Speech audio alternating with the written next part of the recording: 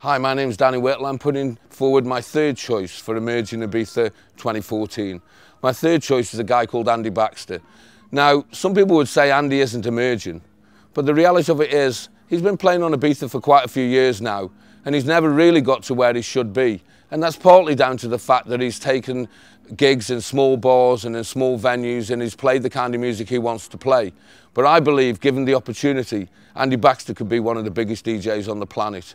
He plays every room perfectly. He knows exactly how to warm a crowd up, how to take them through the main set and how to finish the night. He reads the crowd as good as any other DJs I've ever seen and if anybody des deserves to emerge in 2014 it's Andy Baxter and it's for that reason I put Andy Baxter forward as option number three.